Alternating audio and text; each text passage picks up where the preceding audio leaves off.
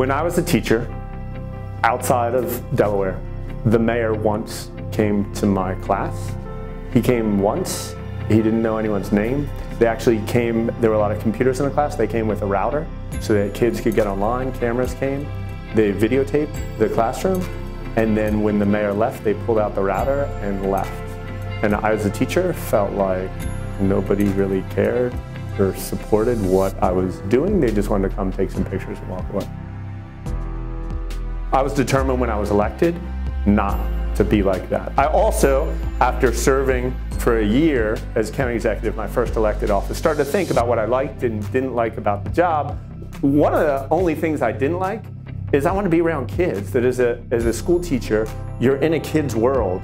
And uh, it's really interesting. Uh, kids act differently. The opportunity to impart knowledge, the opportunity to learn from students was something I really missed. I also felt like there was an opportunity as county executive to gain perspective far outside the people I worked with.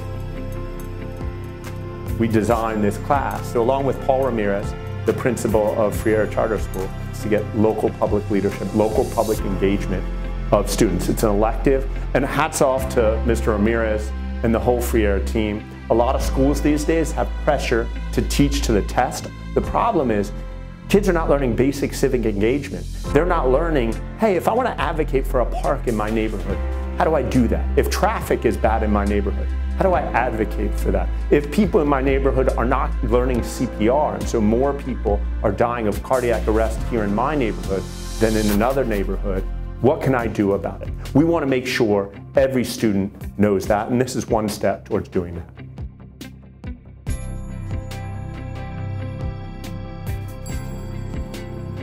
I, it's like sparked my interest a lot more in different things I, I wouldn't have been interested in, like sewers, because who really thinks of sewers?